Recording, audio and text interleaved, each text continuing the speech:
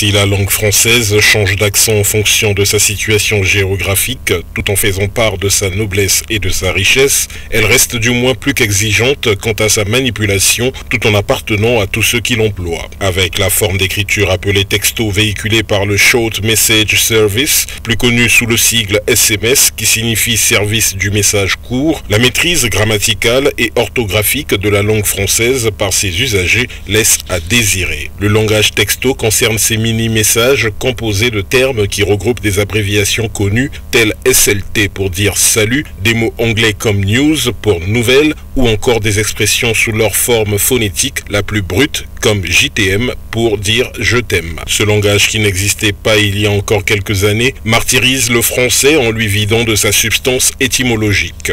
Paresse ou créativité, la question vaut son pesant d'or car la plupart des adeptes de la langue texto déclarent qu'il est plus facile d'écrire en langage texto mais surtout que cela permet de gagner en temps et en espace vu que la langue française a des mots souvent trop longs à l'orthographe complexe.